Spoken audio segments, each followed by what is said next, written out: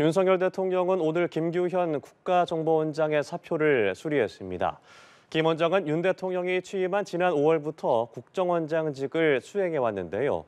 국정원 1차장과 2차장도 교체됩니다. 취재기자 연결해서 자세한 내용 들어보겠습니다. 구하림 기자. 네, 윤석열 대통령은 오늘 김규현 국가정보원장의 사표를 수리했습니다. 대통령실은 약 1시간 전인 오후 4시 20분쯤 언론 공지를 통해 이같이 밝혔습니다.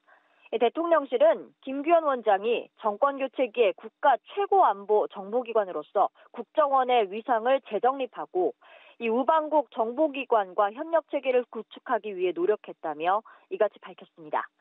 또 권춘택 국정원 1차장과 김수현 2차장의 사표도 수리됐다고 덧붙였습니다.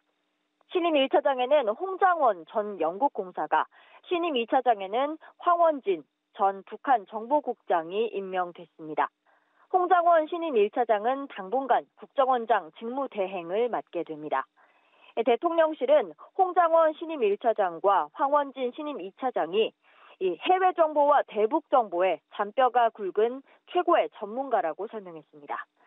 최근 국가안보실 제2차장과 대통령실 국방비서관이 교체되는 등 윤 대통령은 주요 안보 라인에 대한 인사 조치를 단행했습니다.